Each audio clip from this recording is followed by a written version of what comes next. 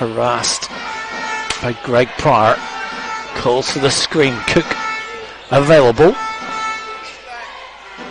Jump shot is. That's his shot, but sometimes it neglects for other other teammates, and they're not getting to the foul line enough times. But I love to see his shot. I, I love to see him get his confidence back that he did at the start. And I thought about the three. Murray in his way makes it though. Triple. Four in the shot clock. Lewis alert drives inside into traffic. Tough finish from There by Ali Fraser. He doesn't get enough credit for that. His, his, interior passing is unbelievable. You know, he created a lot of space. Could have went for a simple layup. and That that pressure's been dropped off. Bennett Cook back in for Sheffield. 10 in the shot clock. Enjo daring Abala makes it second. Cuts the gap to three. Nine, the breakaway off the steal. Lays it in. Sharks within. You know, he's struggled over the last few games. I would say his, his, productivity, scoring wise, had dropped. Long jumper. Bobbled away. Cook with a board off the glass. Enjoy once more. Finds a hole in traffic. As the shot clock expired. Up over the last few years, he's a, he's a, he's a smart defender. McKnight drives to the basket and gets the score in the. Fi- Cashaw. Quite offensively so far. McKnight slashes through the middle.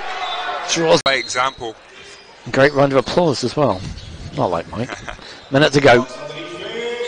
Step back from Lewis. Makes it. The other end. Tuck. Taps it in his own room. 2 3 to be signed from America. What is his position after? Turnover though for Glasgow. Lewis. Easiest basket he scored this season. See him get, get scoring in his three-point shot. Tuck starting the second half. The floater goes. Mike Tuck in the game. Rocks showing no sign of relenting in this third quarter. Tuck. McCunis built it past Joe Bala. Can't control it. Now Cashaw, who's yet to score, gives it to Lewis. Drops it in. Nick Lewis very comfortably. Revenge mission for Glasgow going well so far as Tuck drives in. Comes Lewis. Confidence, off balance, no matter, makes it. There for Lewis if he wanted it. Instead, turned the ball over and then Pryor punched him down at the other end. Cook looks for a pass, looks for help, has to go solo. Double team comes across, wriggles his way through Bennett Cook. Go unnoticed. Cashaw replaced by Kunis on as well for Glasgow's nearly still away. Second chance for Sheffield. Cook wiggles his way in once more, the lay in. Leads at 15. Can Connor Cashaw five minutes go in this fourth period here? Glasgow Rocks leading Sheffield Sharks. And Enjoy.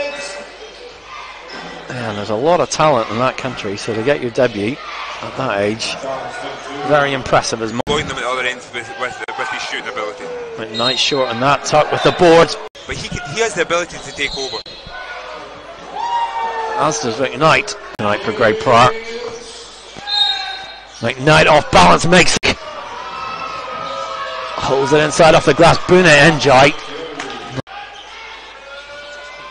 Runs through the screen, clips through the middle. Mackey McKnight the drive.